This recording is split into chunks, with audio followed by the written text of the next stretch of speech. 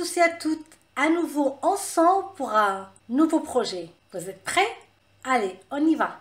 Aujourd'hui, vous allez apprendre à comment faire le coussin d'allaitement.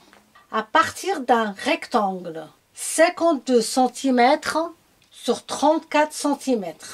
Ici va représenter le milieu du coussin.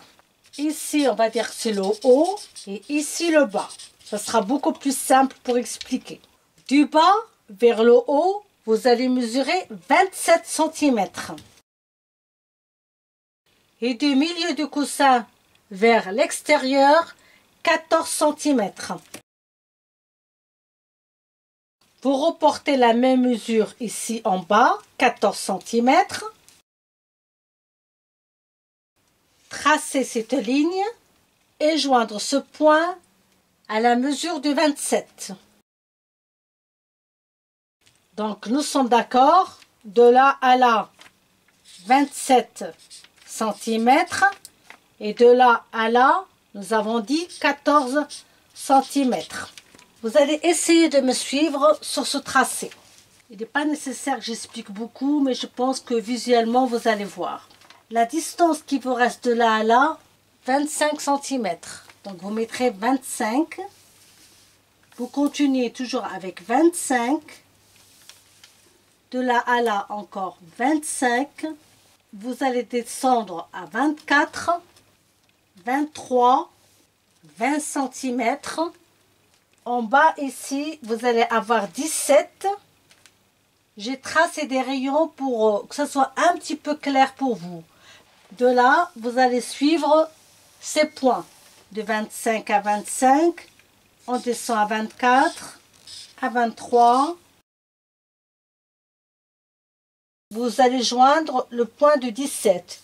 17 de là à là. Ça vous donnera cette forme. De là à là, 6 cm.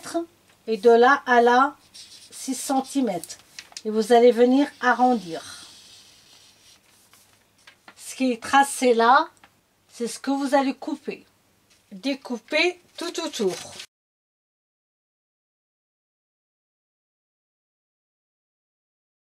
Ici, donc au pli, ce morceau à couper deux fois dans la doublure. Utilisez donc votre doublure. Pour ma part, ici, j'ai longueur de 120 sur 80. Pliez votre tissu une fois dans la longueur. Vous allez avoir le pli ici et pliez à nouveau dans la largeur. Votre pli donc est ici. Mettez le patron sur le pli du tissu. Épinglez tout autour. Tracez et coupez. Arrondissez les angles et coupez. Mettez endroit sur endroit, épinglez tout autour, piquez la valeur de pied presseur, commencez ici, bon point d'arrêt, faites tout le tour et vous finissez par un point d'arrêt. N'oubliez pas votre ouverture de ici à ici, sur une longueur de 20 cm à peu près.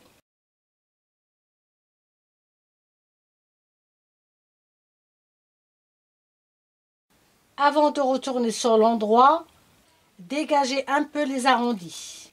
Crantez au niveau des creux et retournez sur l'endroit.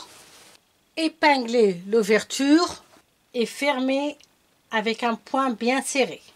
Vous le faites à la main ou à la machine, à vous de voir. Aujourd'hui, vous avez appris à faire le patron, à découper et faire votre housse.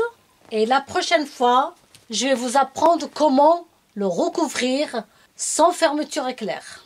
Ainsi, vous pourrez changer la housse sans problème. En attendant notre prochain rendez-vous, n'oubliez pas au passage un petit like, un commentaire et surtout abonnez-vous.